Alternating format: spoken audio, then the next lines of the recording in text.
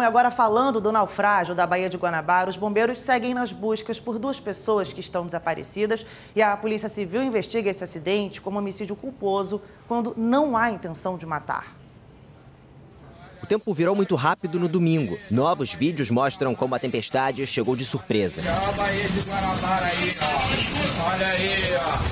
A traineira Caiçara já foi retirada da Baía de Guanabara pelo Corpo de Bombeiros e pela Marinha. A operação para desvirar a embarcação tinha o objetivo de encontrar as duas últimas vítimas que estavam desaparecidas, mas elas não estavam no barco de pesca de pequeno porte. As buscas não pararam ao longo da madrugada e nessa terça-feira chegaram ao terceiro dia. 50 militares do Corpo de Bombeiros atuam com aeronaves, drones e embarcações. Os nossos recursos hoje estão distribuídos por toda a orla aqui da Baía de Guanabara. A gente também trabalha com viaturas terrestres que fazem também a inspeção e a vigilância em toda a costa da Bahia, porque a gente entende que as vítimas podem sim ser levadas para junto dos costões e das pedras. As duas vítimas que ainda não foram encontradas foram identificadas como Fábio Dantas Soares, de 46 anos, e Isabel Cristina de Souza Borges, de 38 anos. A Polícia Civil investiga esse caso.